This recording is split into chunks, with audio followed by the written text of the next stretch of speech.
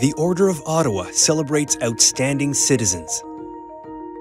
Recipients come from diverse backgrounds. They make exceptional contributions in many areas of city life. They are advocates for minorities.